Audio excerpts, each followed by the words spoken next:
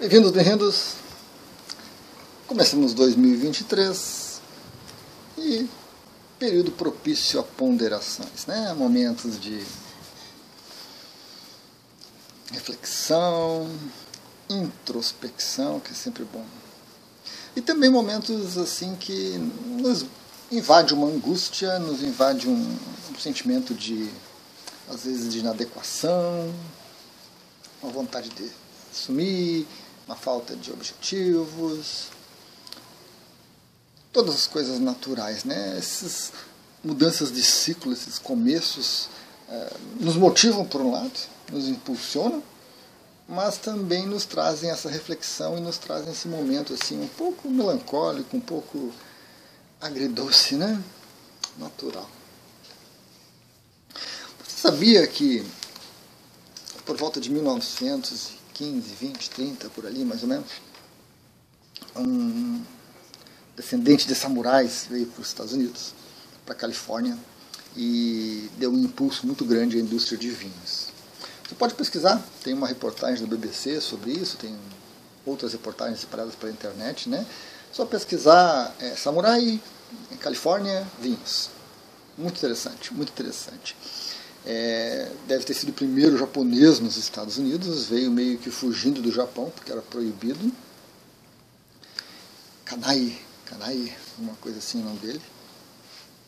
E teve muito sucesso, muito sucesso. Foi chamado do Rei do Vinho. Depois, teve ali por 1900 é, na verdade, ele veio em 1800. Em 1910, 15, teve ali nos Estados Unidos um problema que hum, estrangeiros não podiam ter terras, teve uma série de problemas e começou a, a decaída.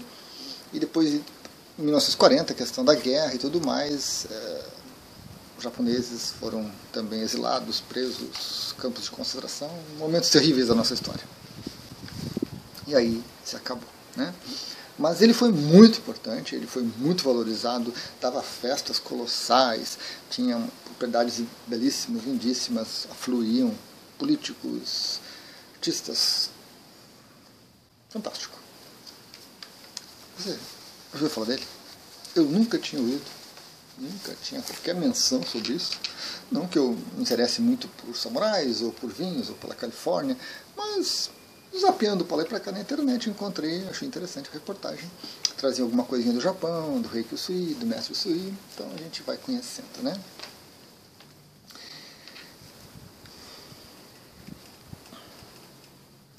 Você ouviu falar? Hoje, o que impacto tem isso na gente, né? O que, que muda a vida da gente saber disso ou não? Pois é. Tudo passa tudo passa. Tudo de bom, tudo de ruim, passa.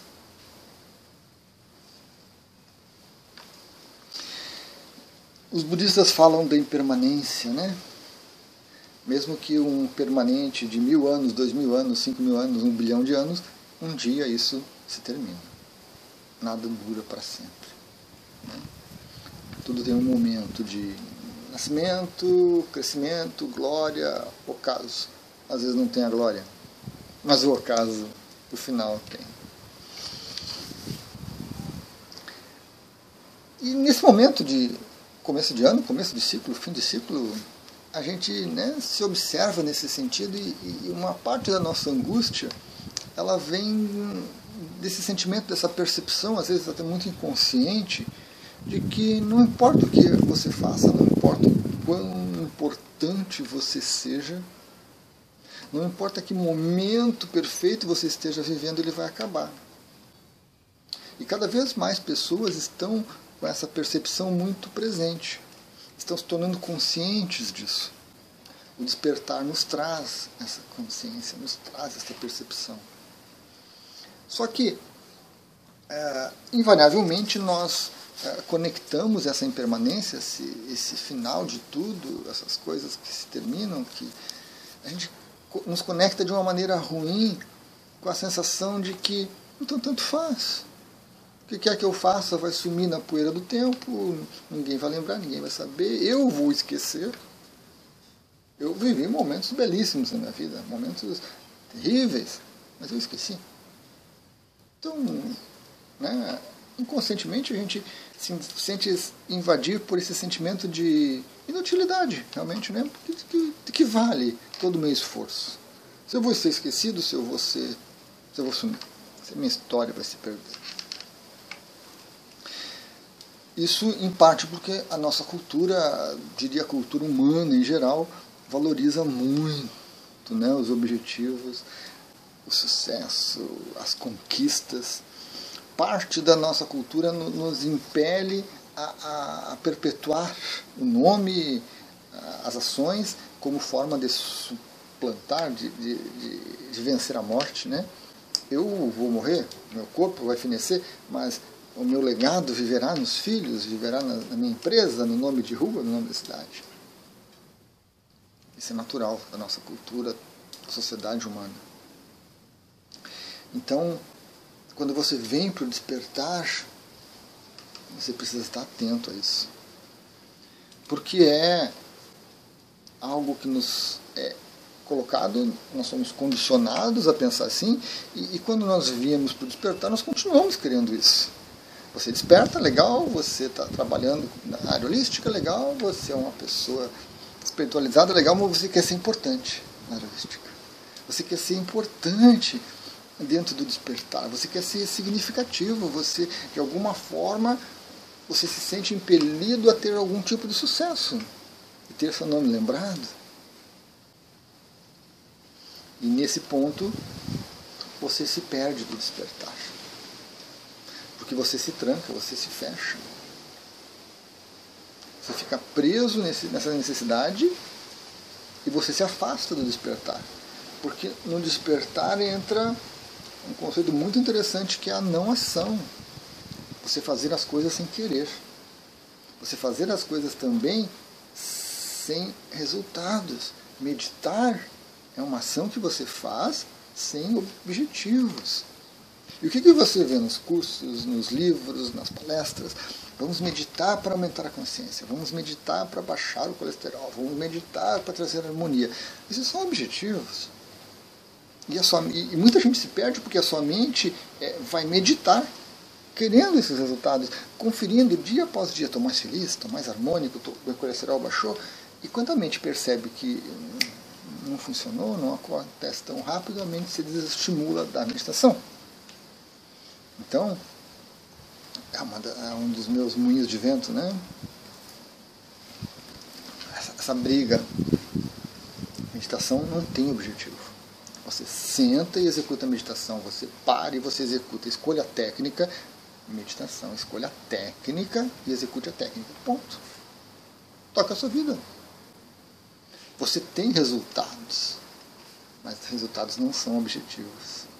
Importante.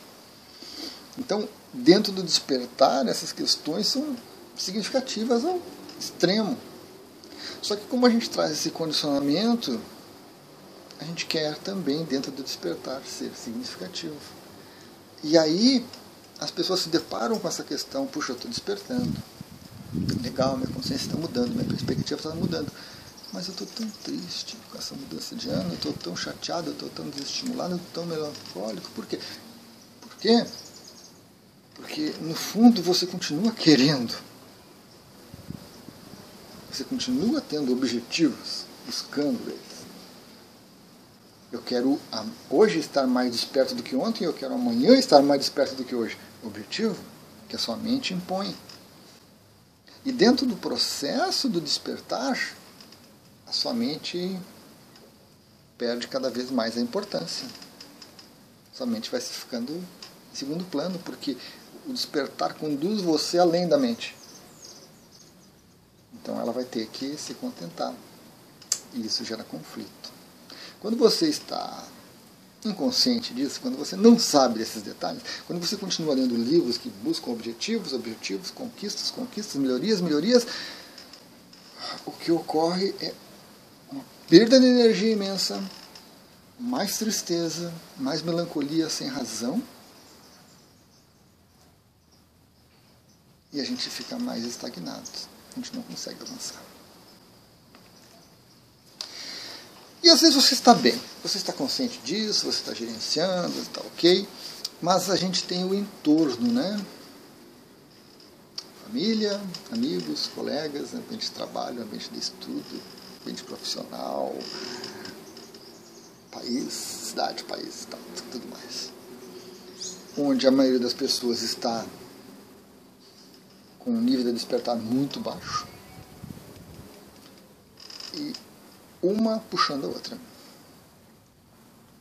Quando você se levanta um pouquinho, você sente essas amarras, você sente essas, esses cordões energéticos puxando você. Ou você percebe as críticas. Como assim, tu não quer nada da vida? Luiz, você tem que ter objetivos. Você tem que conquistar, ganhar dinheiro, ser importante, ser visível, ter seguidores, likes e blá, blá. Você percebe as pessoas querendo que você faça mais. E às vezes, quanto mais próximos essas pessoas, maior a pressão, principalmente da família, principalmente da família e dos amigos. Eles olham, olham para você e dizem: tá, tá maluco, tu tá indo morro abaixo. Você tem que fazer, você tem que ser, você tem que ter. E essa pressão, ela produz efeitos, claro. Quando você não está consciente disso, você se incomoda com isso, você se desestabiliza com isso, você se deprime com isso e sem saber. Quando você está um pouquinho mais consciente, você percebe tudo isso e você, como é que eu lido com isso? Puxa, é meu esposo, minha esposa, meu pai, minha mãe, meu filho ali, é meu chefe me cobrando e querendo, os colegas dizendo, poxa, você está fracassando na profissão, faça mais, seja mais, tenha mais. Como é que eu lido com isso? Essa pressão, essa cobrança? Até o momento em que você desperta um pouco mais e você percebe que isso é natural. Chegar nesse ponto de perceber que é natural leva algum tempo, mas acontece. É um resultado, não é um objetivo. Em algum momento você percebe e você consegue lidar com isso. No começo é difícil. Às vezes até se revolta. Mas como que as pessoas ficam me cobrando essas coisas? Como é que elas não conseguem perceber que eu estou melhor hoje do que antes? Que eu estou mais tranquilo, mais sereno, mais amigável, mais acessível, mais acolhedor. Como é que as pessoas não percebem e ficam me cobrando essas coisas? Porque quando eu faço essas coisas eu me torno infeliz. Quando eu busco esses objetivos eu não me contento. A gente até se revolta um pouco. E é natural mas é preciso persistir. Não há o que fazer. Você despertou, você entrou nesse processo, não tem como voltar a dormir. Não tem como baixar o seu nível de despertar. Você até tenta, você comete atos insanos, desatinos os mais variados para tentar voltar para o sono. Mas não, não, não vai conseguir. Não vai adiantar. O que, que nós precisamos fazer então? Sem querer ação sem ação. Mantenha a sua prática de meditação. Mantenha, dia após dia. Não coloque objetivos, não, não imponha metas, simplesmente execute a técnica. Escolha uma boa técnica. Respiração, por exemplo, uma das melhores. Sente-se e fique atento à respiração. Respira, respira, respira. respira. Só isso, gente, só isso, só isso. Sem música, sem banda de música, sem foguetes, não, simplesmente muito básico, sente-se no cantinho tranquilo, não da sua casa, da sua residência, do seu apartamento, inspire, expire. Pronto. Fantástico fantástico. Pela simplicidade e pelo alcance que ela promove na gente. E observe-se mais. Observe-se de maneira isenta. Não julgue, não queira, não compare. Observe-se. Acolha. Quando você observar algo em você que você não goste, acolha aquilo, está tudo bem, está tudo bem, essa minha raiva aqui tá, faz parte, não tem problema. Quando você perceber coisas ruins nas outras pessoas que cercam você, que estão. Tudo bem. Cada um no seu momento, cada um no seu ritmo. Quando é, seu filho, sua filha, seu empregado, seu colega não, não atingiu a meta, não, não cumpriu o que prometeu, tudo bem, Cada um está no seu momento. não é um tudo bem assim do tipo tanto faz. É um tudo bem de acolher, que é diferente do tanto faz. Pratique essa observação. Pratique. Observe, pondere, mas não julgue. Não julgue. Fique na observação e na ponderação. Que, que essa minha ação desencadeia? O que, que a minha ação hoje, a minha fala hoje, o que, que ela desencadeou? Como é que isso fluiu? Pondere, pondere e acolha o que vier. Aceite. Está tudo tranquilo. Isso nos conduz a um estado de consciência mais ampliado. Em algum momento. Em qualquer momento. Sem metas. Sem metas. Então,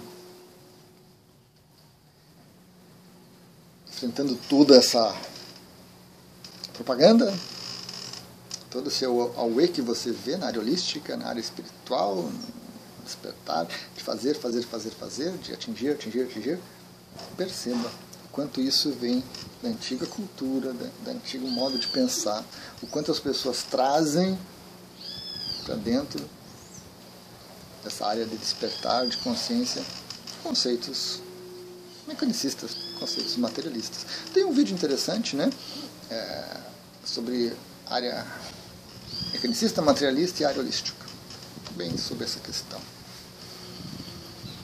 E assim nós começamos, ou continuamos, né? Nossa jornada. À medida que você está mais presente com isso, você vai crescer. Você vai crescer e você vai se expandir dentro do seu ritmo, cada um